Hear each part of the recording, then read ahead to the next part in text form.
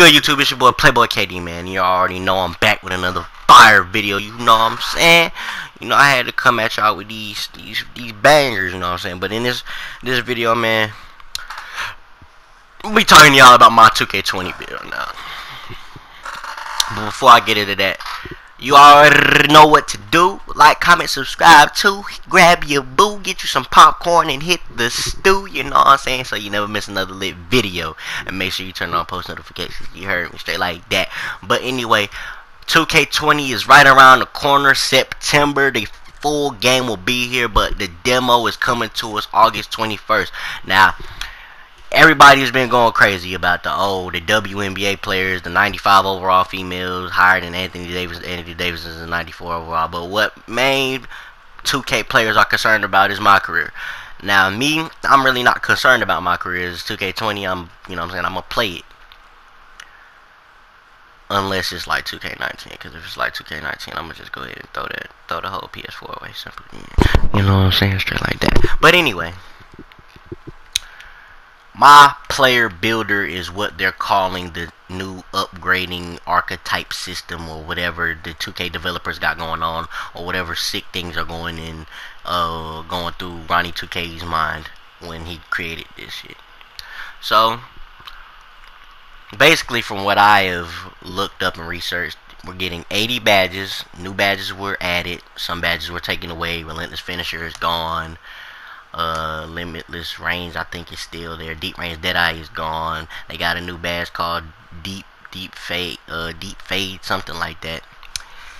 So post scores this year might be worse than what post scores was in 2k19 so my build, you know what I'm saying? 2K19 shot creating post scores, stretch fours, and lockdowns ruled the game. You didn't see a lot of point guards like that anymore. You seen a lot of inside scoring builds that could shoot threes. So, what would be the point in making a sharp shooting build if every build on the game can shoot threes if you have boost and you know your jump shot? That that that makes no sense. I mean, you don't see centers in the NBA shooting threes that have a 23 pointer on the game, but they can still make threes on the game. You feel me? So Dwight Howard, for instance, is like a rebounding athletic finisher. You don't see him shooting threes in the NBA. He might sh have shot at least one three every season, but he doesn't make six out of six threes a game. You feel me? Straight like that. So next year I'm next year my build I'm going with a since shot creating post scores did rule the game, I am going with a sharp shooting point forward.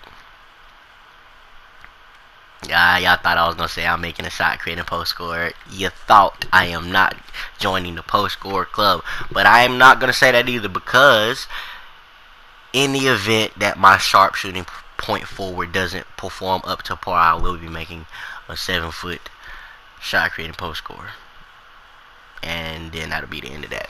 But hey, man, I love y'all, man. Thank y'all for tuning in, talking about 2K20 with me.